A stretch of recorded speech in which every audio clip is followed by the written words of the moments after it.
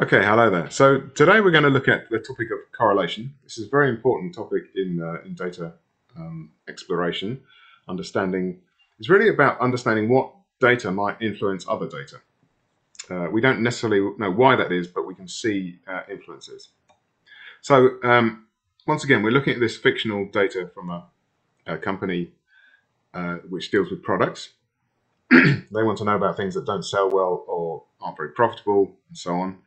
Um, and last week we did some of that. We looked at the time series uh, and looked at the trend line. So which were they going up and down, or whether they've got uh, variation, seasonal variations, which we'll look at. Actually, we'll, we'll look more at that next week. Excuse me. Today we're going to take a closer look at how some of those trends might be related to each other uh, using two further standard visualizations. So the first is a scatter plot, um, so just a series of dots uh, and when you start to distinguish a pattern, like you can see in the picture I've put up there, then that may mean there's a correlation. The other uh, good way of uh, assessing correlations is with things called heat maps, where you're trying to measure um, correlations more exactly. So uh, the the first one is a sort of gives a visual indication of um, some uh, some correlations, whereas the second one actually we can do it numerically, and we we then uh, visualize those numbers. So slightly different techniques. We'll anyway, we'll meet them both on along the way.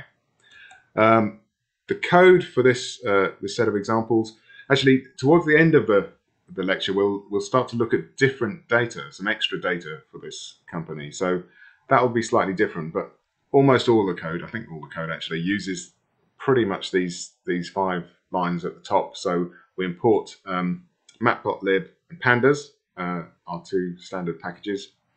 Uh, we read in the data, the daily sales data, and tell um, tell pandas that the index is in the first column, uh, which is, if you remember, the index is just the dates, uh, so dates from the 1st of January to the 31st of December, and then we convert that that set of dates into date time so that uh, pandas understands them as dates and not not just strings of uh, characters.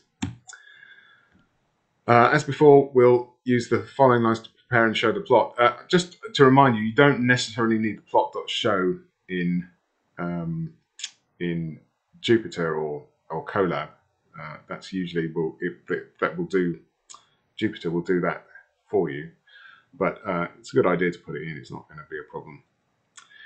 And finally, the one extra thing we're going to meet today is another library called Seaborn, uh, which we'll use to do the heat maps. You can do heat maps in in Matplotlib. It's just a bit harder.